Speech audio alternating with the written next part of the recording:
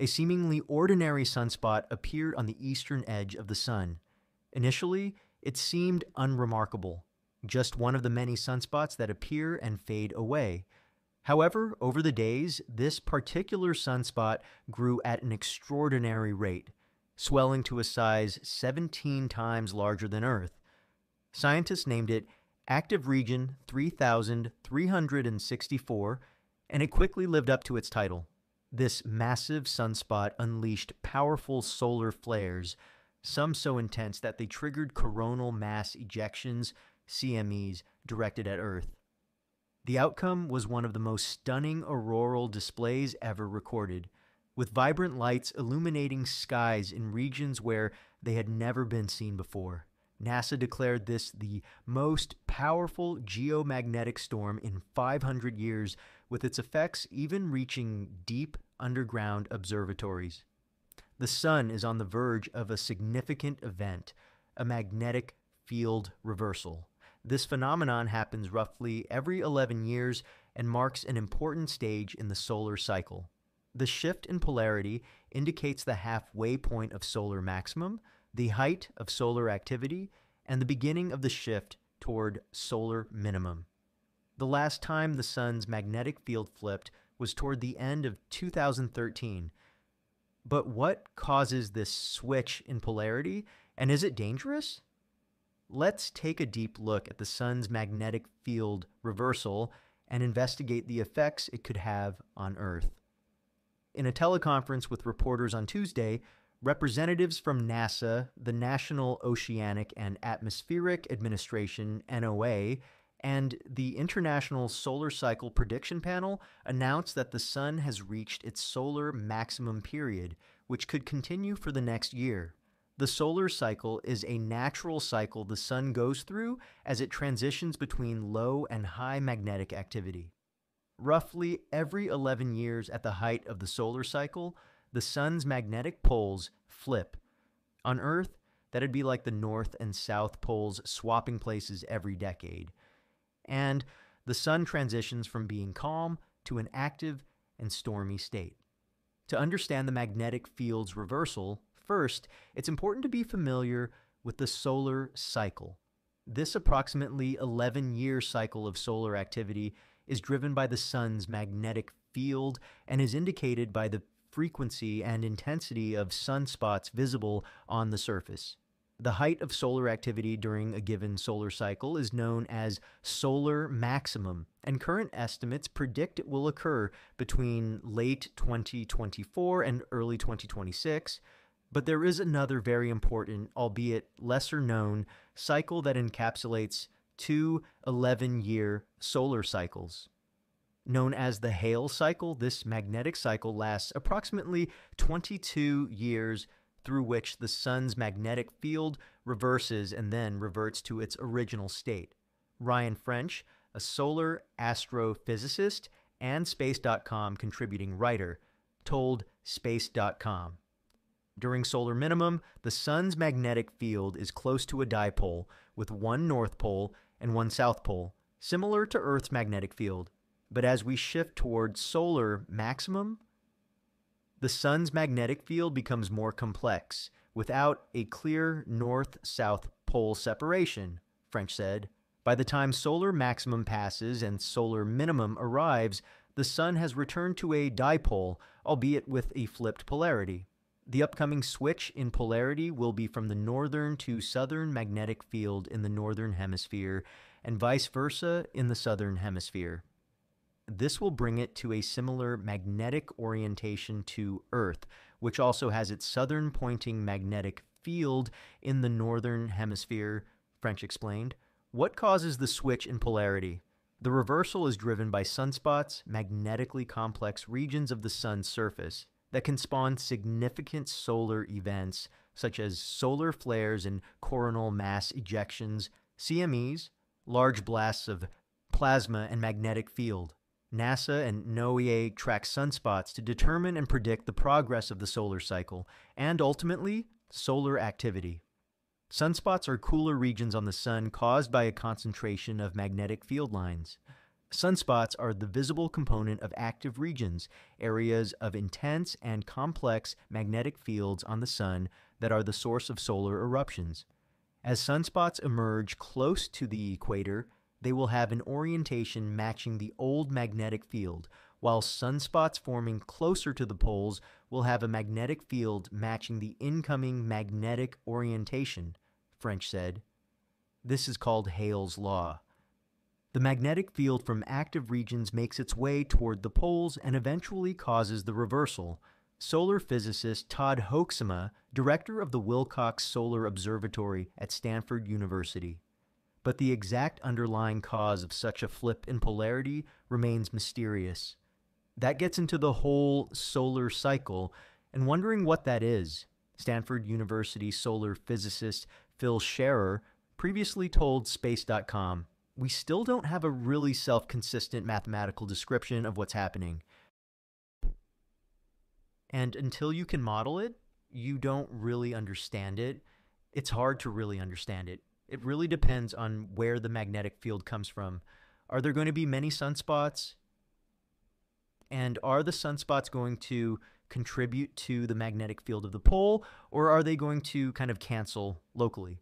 Hoeksema said, that question we don't yet know how to answer. What we do know is that the solar magnetic field flip is not instantaneous. It's a gradual transition from a dipole to a complex magnetic field to a reversed dipole over the entire 11 year solar cycle. In short, there is no specific moment in which the sun's poles flip, French said. It's not like the Earth, where the flip is measured by the migration of the north south pole. It generally takes a year or two for a complete reversal, but it can vary significantly. For example, the north polar field of Solar Cycle 24, which ended in December 2019, took nearly five years to reverse, according to the National Solar Observatory. The magnetic field flip is so gradual, you won't even notice when it happens. And no, however dramatic it might sound, it is not the sign of an impending apocalypse. The world will not end tomorrow during solar maximum. The number of sunspots and therefore the amount of solar activity increases, said Jamie Favors, Director, Space Weather Program at NASA headquarters in Washington. This increase in activity provides an exciting opportunity to learn about our closest star, but also causes real effects at Earth and throughout our solar system. Solar activity strongly influences conditions in space known as space weather. This can affect satellites and astronauts in space, as well as communications and navigation systems, such as radio and GPS, and power grids on Earth.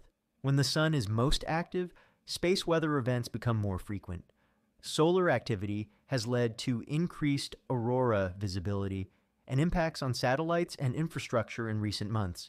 During May 2024, a barrage of large solar flares and coronal mass ejections, CMEs, launched clouds of charged particles and magnetic fields toward Earth, creating the strongest geomagnetic storm at Earth in two decades, and possibly among the strongest displays of auroras on record in the past 500 years. This announcement doesn't mean that this is the peak of solar activity we'll see this solar cycle, said El Sayed Talaat, director of space weather operations at NOAA. While the sun has reached the solar maximum period, the month that solar activity peaks on the sun will not be identified for months or years scientists will not be able to determine the exact peak of this solar maximum period for many months because it's only identifiable after they've tracked a consistent decline in solar activity after that peak. However, scientists have identified that the last two years on the sun have been part of this active phase of the solar cycle due to the consistently high number of sunspots during this period. Scientists anticipate that the maximum phase will last another year or so before the sun enters the declining phase, which leads back to solar minimum.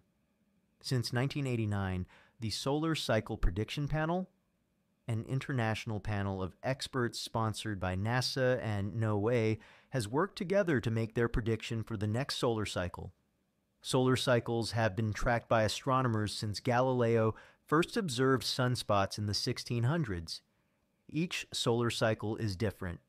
Some cycles peak for larger and shorter amounts of time, and others have smaller peaks that last longer.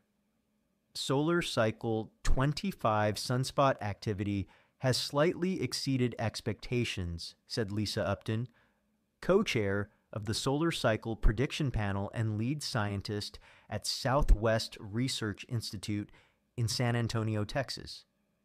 However, despite seeing a few large storms, they aren't larger than what we might expect during the maximum phase of the cycle. The sun did not calm down after these intense solar storms in May. Instead, it continued to emit bursts of M class and moderate X class flares, keeping space weather scientists on edge. Then, on October 3rd, it unleashed a colossal X 9.0 flare, the most powerful in seven years from the center of its disk.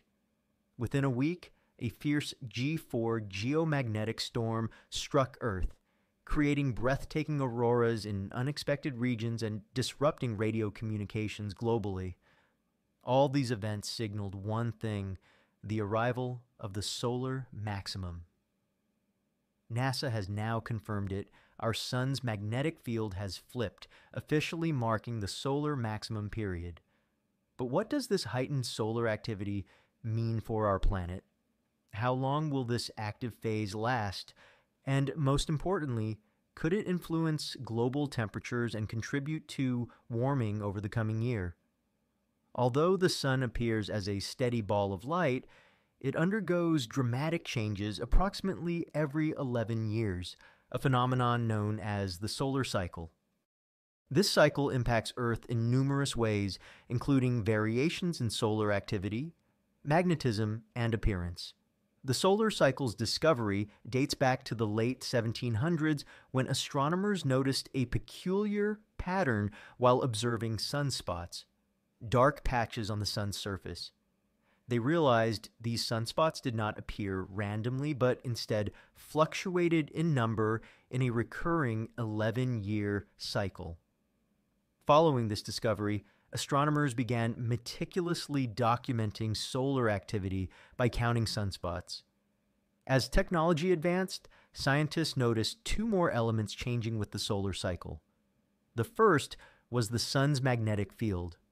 Because the sun is a massive sphere of charged plasma, its magnetic field is constantly shifting. Scientists observed that the sun's magnetic poles reverse with each cycle, its magnetic north becoming south, and vice versa. This polarity flip typically occurs around the solar maximum, marking the midpoint of the cycle. Additionally, overall solar activity, including solar winds, flares, and CMEs, peaks at the maximum and declines at the minimum. These findings mean monitoring solar cycles now involves analyzing sunspot numbers magnetic polarity shifts, and solar activity levels. When Solar Cycle 25 began in December 2019, it was predicted to be weaker than its predecessor. However, this forecast proved incorrect. Solar Cycle 25 has far exceeded expectations, with the average daily sunspot number reaching 299 in August 2024 more than double the projected value and the highest in over two decades. Remarkably, this cycle's peak arrived earlier than anticipated. Initial predictions placed the peak in July 2025, but by January 2024, the NOAA adjusted its forecast, estimating the peak between January and October 2024 with 137 to 173 sunspots. On October 15th, NASA confirmed the solar maximum period had officially begun. This announcement, however, does not mean solar activity has reached its absolute peak. Identifying the exact peak requires months, even years of observation. For now, scientists expect elevated solar activity to persist for about another year before the sun begins its gradual transition back to the solar minimum. During this time, we can anticipate severe geomagnetic storms and stunning auroral displays. Historically, solar storms have left profound marks on Earth. The Carrington event of September 1859 remains the most intense solar storm ever recorded. British astronomer Richard Carrington observed a massive solar flare just hours before a CME struck Earth, triggering an intense geomagnetic storm. Telegraph systems malfunctioned across Europe and North America, with some operators reporting electric shocks. The storm was so powerful that auroras lit up skies as far south as the Caribbean. In May 1921, the infamous New York Railroad storm disrupted railway systems across the U.S. Northeast. More recently, a powerful storm in March 1989 caused a nine hour blackout in Quebec, Canada, exposing vulnerabilities in modern power grids. In today's technology reliant world, significant solar events pose even greater risks. In 2022, a geomagnetic storm destroyed 40 newly launched Starlink satellites. The potential for a modern Carrington class event could result in trillions of dollars in damages globally. Despite this, solar activity during maximum periods offers a surprising benefit protection against cosmic rays. The sun's intense magnetic field during these times shields Earth and satellites from harmful cosmic radiation. One of the most captivating effects of heightened solar activity is the auroras. When a CME interacts with Earth's magnetic field, it sets off a dazzling chain of events. Charged particles spiral toward the poles, creating breathtaking displays. While green auroras are most common, rare red auroras, produced by higher altitude interactions, offer an even more spectacular sight. The best places to view these phenomena include Canada, Alaska, and parts of Scandinavia. As we approach the peak of solar cycle 25, these mesmerizing displays remind us of our place in a dynamic and ever changing universe. NOAA anticipates additional solar and geomagnetic storms during the current solar maximum period, leading to opportunities to spot auroras over the next several months as well as potential technology impacts. Additionally, though less frequent, scientists often see fairly significant storms during the declining phase of the solar cycle.